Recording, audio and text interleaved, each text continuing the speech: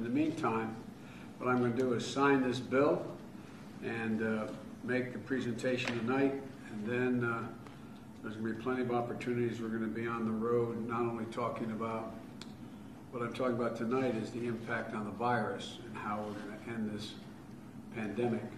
And we're going to talk all the elements of the bill, beginning uh, on Friday, Saturday, and through the week. So, thank you for being here.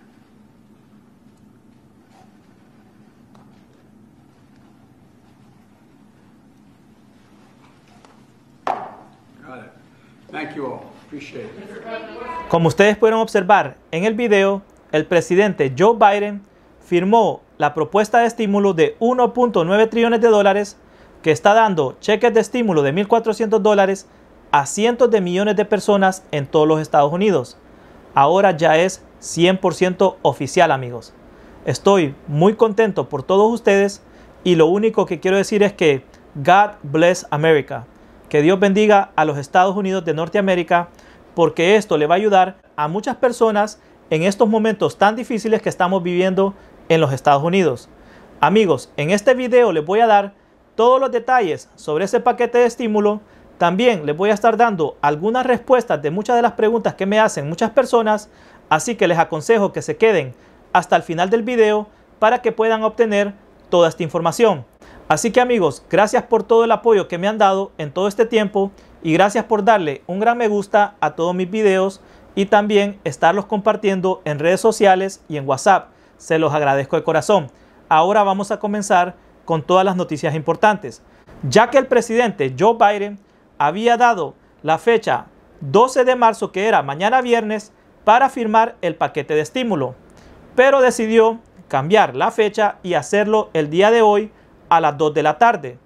Esto es lo mejor que pudo haber hecho, ya que muchas fuentes cercanas al Congreso y también medios de prensa están diciendo que el IRS podría mandar los cheques de estímulo tan pronto como la próxima semana estaría mandando cheques de estímulo a millones de personas. Se estima que antes del viernes o el mismo viernes de la próxima semana. Estas son excelentes noticias amigos y la verdad que estoy muy contento por todos ustedes. Así que ahora les voy a decir lo siguiente. Además de los 1.400 dólares, hay que verificar qué otros beneficios va a tener este proyecto de ley. Pero les voy a explicar sobre los 1.400 dólares, cómo van a funcionar y quién los va a obtener. Toda persona que declara impuestos en los Estados Unidos y que tiene un número de seguro social válido va a recibir los 1.400 dólares. También hay un límite de entrada de dinero. Toda persona que hace sus impuestos tiene que tener un límite de 75 mil dólares para poder obtener el cheque de estímulo de 1.400 dólares. Si es una pareja de casados, 150 mil dólares. Y si es solo una persona que es cabeza de hogar, el límite es 112 mil dólares para poder recibir el cheque de estímulo de 1.400 dólares. Ahora también, muchas personas me han preguntado cuáles son los beneficiarios o las personas que son dependientes que van a recibir el cheque de estímulo. En este cheque de estímulo, amigos, toda persona que es dependiente, sin importar la edad, si tiene 18 años, 30 años, 50 años o solamente un año, va a recibir el cheque de estímulo de 1.400 dólares como dependiente. Así que en este no hay límite de edad. Eso es para que me entiendan, porque hay muchas personas que tienen el concepto que si un adolescente está yendo a la universidad, no lo va a recibir. En este tercer cheque de estímulo sí lo van a recibir todos los dependientes, sin importar su edad. Ahora vamos a pasar a lo siguiente, ya que los beneficios de desempleo es otra parte importante de este paquete de estímulo, ya que hay casi 12 a 15 millones de personas que están recibiendo algún tipo de beneficio de desempleo. Les voy a decir lo siguiente, los beneficios de desempleo ampliados del gobierno federal se extenderían hasta el 6 de septiembre por 300 dólares a la semana. Eso se suma a que los beneficiarios obtendrían o van a obtener a través de su programa estatal de seguro de desempleo.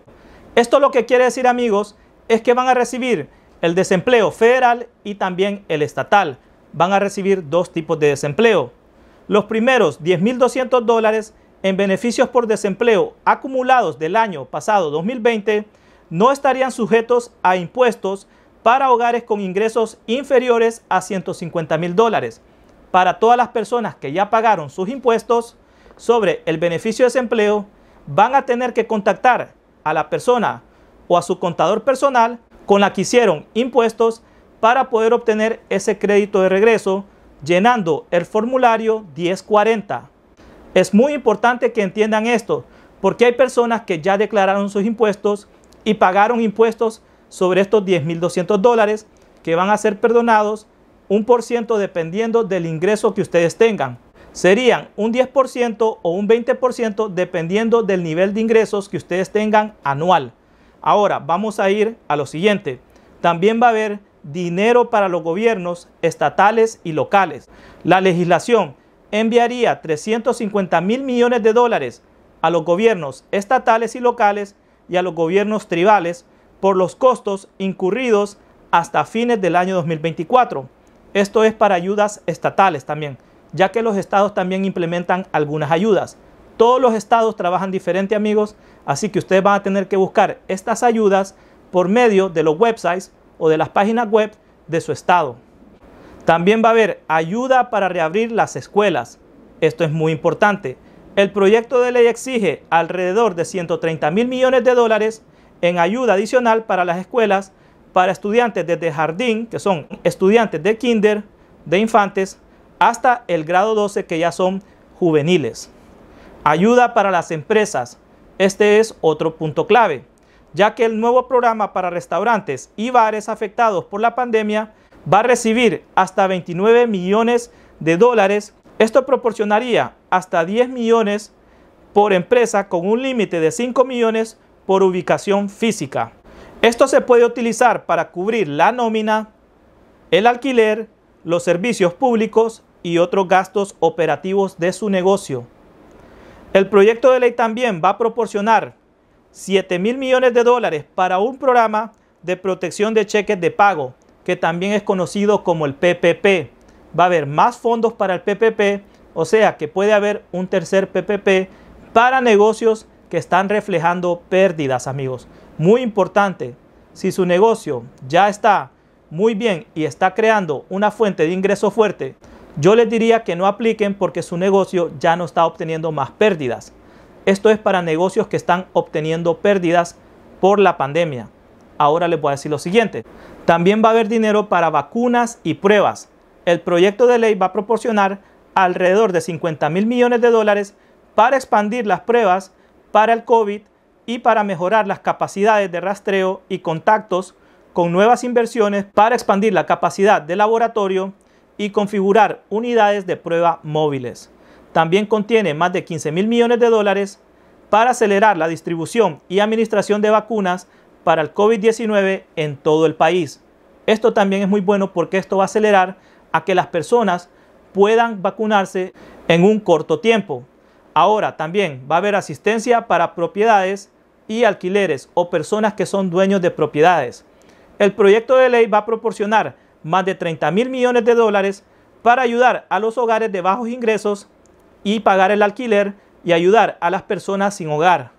Los estados y sus ciudades recibirán 10 mil millones de dólares adicionales para los propietarios de viviendas que luchan con los pagos de la hipoteca y otros costos de la vivienda debido a la pandemia.